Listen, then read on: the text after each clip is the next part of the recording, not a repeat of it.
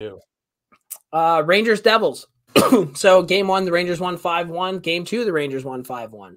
Uh, game three, the Devils won two to one in overtime. A Dougie Hamilton goal. Uh, Hughes has two goals. Bratt has two assists. The leading point guy on the Devils has two points. That's Jack Hughes. Uh, this Schmid One was on a penalty shot too. Yeah. Don't forget. this Schmid guy. Let's talk about him. He had a nine. He has a nine seventy two save percentage. He played one game. He played pretty good. Uh, I would say that there were a couple shots Mika Zibanejad had on the power play that were like some pretty good saves. But other than that, like Ray Ferraro was talking about how this guy was like Marty Brodeur and like, dude, he he stopped the puck. I'll give him that. But it wasn't like grade A scoring chances. Like uh, Panarin missed the net a few times. I, I just he played good. I'm giving him kudos to that. Like you came in, dude, you weren't expecting that you're going to play in this series. You came in, you got your win, cool. But the fact that everybody's blowing this guy like he's fucking Marty Brodeur is insane. Well, I think the the things that go with it was that he's the first rookie goaltender for the Devils since Brodeur to come in the playoffs like that.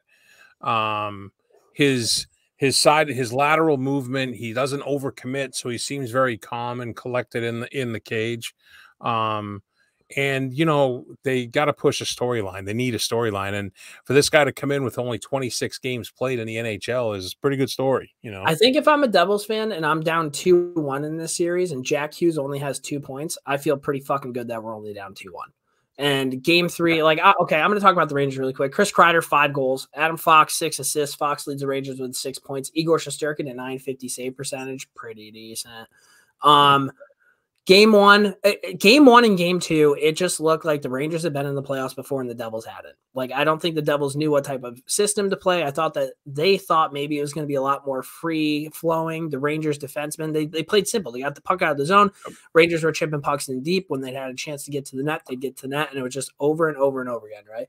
Game three, I think they made an adjustment. And to be completely honest with you, it was a coin flip. Like, if you look at the advanced numbers or whatever, that game could have went either way. Uh, it, it sucks that they didn't win on home ice. We got a big game coming up tomorrow.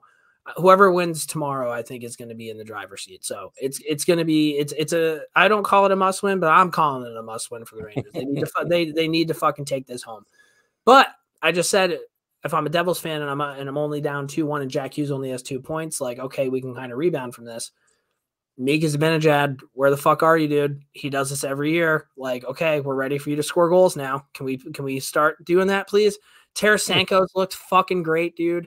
Uh, he's had a few goals. Patty fucking Kane. that wrist shot, that wrist shot goal that he had in game two. You, you mean the backhand when he fucking went in and went backhand shelf? Is that's probably what you're talking about? Was three point nine. And let me just talk about this donkey Pasha, this like spitting Chiclets fucking asshole.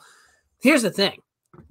He's just doing it for a fucking clicks. So Rangers fans need to calm down. Like this guy's delusional. He doesn't actually mean the shit that he's saying. There's not a single person on planet Earth that actually thinks Patrick Kane would not help out a hockey team in the Stanley Cup playoffs. Like he's called Showtime for a fucking reason. And if he actually, if he actually believes that, he's he's generally not like genuinely not worth your time or breath or anything along those lines to even talk about. This is the only time we're going to talk about him. Like he's a fucking loser. So don't worry about that. Um, yeah, we're going to see Igor's played really well. Our defense has played really well. Barclay Goodrow's had a fucking rough couple games. We're hoping that we can get a rebound from him. Um, Timo Meier going at Igor Shesterkin's leg, dude. What a fucking rat play. I'll tell you what, he wasn't going to be a guy that I thought I was going to hate by the end of the series, but I he needs to get his face caved in. Uh, I'm still waiting for a Jacob Trouba bomb. It'll probably happen. Uh, we can talk about Ryan Lindgren going for fucking short side because that was incredible. Uh, that was a nice goal. I feel good about it. The Rangers, again, it was a coin flip. They're playing really good playoff hockey. They're playing like a team that's been in the playoffs before, and that, for me, I'm okay with that. And and after the game one, they interviewed Kreider. He's like, game two is the most important game that we got to do. After game two, he's like, game three is the most important. They're there for business. Like like I, I keep putting out this uh, we're on to game three, like dressed up like Bill Belichick tweets that I'm doing because it's a business trip for the boys. And it's nice to see that is like their mindset. Like they, they're just there. They're going to fucking play their game. They're going to move on. They're not too high, not too low. They're taking positives. They're taking negatives. They're doing what they got to do to win a game. So, do you have anything else? Oh, Adam Fox is the best defenseman in the league. That's the other thing I have for you. For the uh for the counterpoint, I would recommend if you're a fan of watching someone's emotions play out in real time Oh on yeah, on social media. Follow our New Jersey Devil writer Pat Booth. It's Pat. How many? I'm trying to see. One, two, three. I think it's Pat Booth with either five or six zeros. I mean, uh, five or six O's in the middle of Booth. It goes Booth. Uh, he is.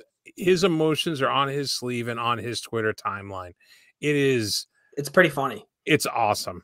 It's awesome. He's like, you know, Dougie Hamilton is more impactful than Jesus, Muhammad, Buddha, Gandhi, MLK, and Nelson Mandela combined. I mean, He has two that's points. just the tip of the, Yeah, tip yes, of the yes. iceberg. He has two points this series.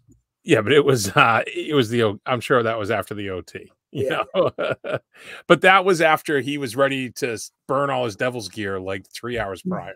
So Game three, I thought this was interesting. I might have to get Boots um, feedback from this, but the Devils scratched Miles Wood, and I I would thought he was injured. I thought I read he was injured. I think he was scratched. Wow. I like Miles Wood. I do too, but I see a lot of Devils fans don't like him. So if he wants to be on the Rangers, I'd be completely okay with that. Um, but yeah, Yeah. that was Easter.